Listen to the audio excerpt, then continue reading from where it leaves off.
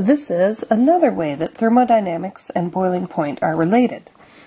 The heat of vaporization of carbon disulfide at 273 Kelvin is 27.65 kilojoules per mole, and its vapor pressure is 128.6 torr. What are the free energy of vaporization and delta S of vaporization at 273 Kelvin? Okay, let's think about what process we're actually working with. We are taking carbon disulfide as a liquid, and it is in equilibrium with carbon disulfide, the gas. So, the equilibrium constant is going to be equal to the pressure of carbon disulfide gas over 1. So if we actually have the vapor pressure at 273 torr, it's essentially giving us the equilibrium constant. That would be equal to 128.6 torr. And then we're just going to divide it by 760 torr per atmosphere to get it in the proper units. And that, when we put it into our calculator, turns out to be 0.16921. Alright, if you have K, you have delta G. So K at 273 is this value. That means the free energy at this value has got to be equal to minus RT natural log of K. So that would be equal to minus 0.008314 kilojoules per Kelvin mole times 273 times the natural log of 0.16921. We will put that into our calculator, and it turns out that delta G is equal to plus 4.034, which I guess when we concern ourselves with sig figs would be 3, since our temperature is sort of limiting, and that would be in units of kilojoules per mole. So that's how to find the free energy at standard states at 273 degrees. The way to find delta S is to use the formula delta G equal delta H minus T delta S. And so I can rearrange that.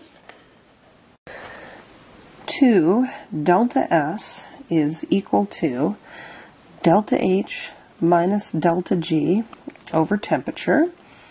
So my delta H is given, that's 27.65. My delta G I calculated, that's 4.03. My temperature is 273 Kelvin. So when I plug that into my calculator, I wind up with 0.0865, and that's in kilojoules per Kelvin mole. Um, if I were going to put it in typical delta S units, that would be 86.5 joules per Kelvin mole. Okay, the last part of the question says, assuming delta H and delta S are temperature independent, estimate the boiling point of carbon disulfide. Okay, well, that occurs when the free energy is equal to zero. So we can use this formula, delta G,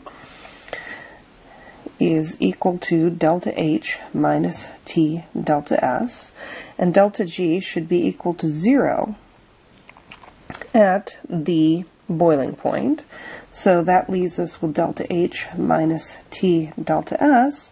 So to find out our boiling point, our boiling point is actually equal to delta H divided by delta S.